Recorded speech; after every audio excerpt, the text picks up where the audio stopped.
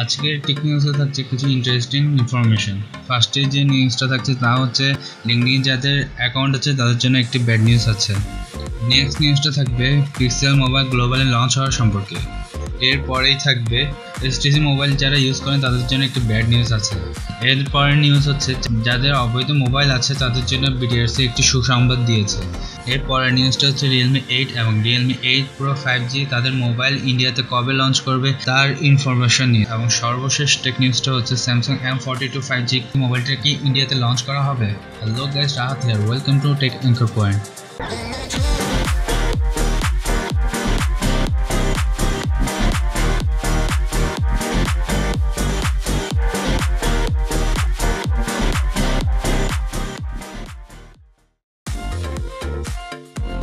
ভিডিওটি শুরু করার আগে লাইক করুন এবং যদি সাবস্ক্রাইব করে না থাকেন সাবস্ক্রাইব করে আমাদের সাথেই থাকুন। এখন থাকছে লিঙ্কডিংয়ের ব্যাপারে একটি ইন্টারেস্টিং কথা। লিঙ্কডিংয়ে যাদের অ্যাকাউন্ট আছে, তাদের জন্য দুঃখের সংবাদ। শোনা গেছে লিঙ্কডিংয়ে পাঁচশো মিলিয়ন ডেটা চুরি হয়ে গেছে। হাস্যকর ব্যাপার এটাই যে, সাড়ে সাতশো মিলিয়ন মানুষের অ্যাকাউন্ট এই লিঙ্কডিংয়ে তৈরি করা আছে। তার মধ্যে যদি পাঁচশো মিলিয়ন ডেটা চুরি হয়ে যায়, তাহলে আর কিছু বলার নেই। সো অবশ্যই কমেন্টস বক্সে জানাবেন কার কার লিঙ্কডিংয়ে অ্যাকাউন্ট আছে। তোবা তোবা তোবা তারা মুড খারাপ করে দিয়া। যারা পিক্সেল মোবাইলের জন্য অপেক্ষা করে আছেন তাদের জন্য গুড নিউজ আছে। পিক্সেল ফাইভ এ এই ফোনটি শোনা যাচ্ছিল গ্লোবালি লঞ্চ করা হবে না। কিছুদিন আগে শোনা যাচ্ছিল ইউএস এবং জাপানে এই ফোনটি লঞ্চ করা হবে। কিন্তু এখন শোনা যাচ্ছে এই ফোনটি গ্লোবালি লঞ্চ করা হবে।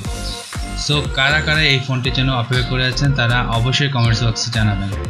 এলজি ইলেকট্রনিক্স কোম্পানি বলেছিল তাদের মোবাইল কোম্পানিটা শাটডাউন করবে মানে অফ করে দিবে। তার মানে তার মোবাইল সেল বা বিক্রি করাই অফ করে দিবে। কিন্তু তারা এটাও বলেছে, তারা তিন বছর ধরে সফটওয়্যার আপডেট পাঠাতে থাকবে।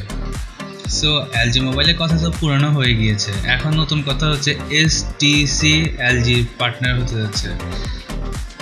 কীভাবে পার্টনার হচ্ছে তাও আমি বিস্তারিত বলছি। এলজি মোবাইল যেভাবে তাদের মোবাইল কোম্পানি শাটডাউন করেছে এসটিসি মোবাইলও সেভাবে তাদের মোবাইল কোম্পানিটা শাটডাউন করতে যাচ্ছে। মানে এসটিসি মোবাইল কোম্পানিও বন্ধ হয়ে যাচ্ছে। এখন যারা এসটিসি মোবাইল ইউজ করছে, তাদের জন্য ডেফিনেটলি দুঃখের সংবাদ। নেক্সট নিউজটা থাকছে বিটিআরসির পক্ষ থেকে। এতদিন বলা হচ্ছে যেসব ফোন অবৈধ বা আনঅফিসিয়াল সেসব ফোনে একটা সিম ইউজ করা যাবে। এখন আবার বিটিএসের পক্ষ থেকে নিউজ দেওয়া হয়েছে, দুইটা সিমই ইউজ করা যাবে, কিন্তু রেজিস্টার অবশ্যই করতে হবে। বিটিআরসি অলওয়েজ টাইম এক একবার এক এক ইনফরমেশন দেয়। সো যখনই বিটিআরসি কোনো মত পাল্টাবে, তখনই এই চ্যানেলে নিউজ দেওয়া হবে। বাইশ তারিখে ইন্ডিয়াতে লঞ্চ হতে যাচ্ছে রিয়েলমি এইট এবং Realme eight pro five G officially কোনো ইনফরমেশন আসেনি, কিন্তু ইন্টারন্যাশনাল টেক পাবলিকেশন বলেছেন বাইশ তারিখ ইন্ডিয়াতে লঞ্চ করা হবে রিয়েলমি এইট এবং Realme eight pro five G একটা সূত্রে জানা গেছে, এতে যে চিপসেট দেওয়া হবে, তা হচ্ছে স্ন্যাপড্রাগন সেভেন ফিফটি জি আজকের লাস্ট টেক নিউজটা হচ্ছে স্যামসাং মোবাইল সম্পর্কে।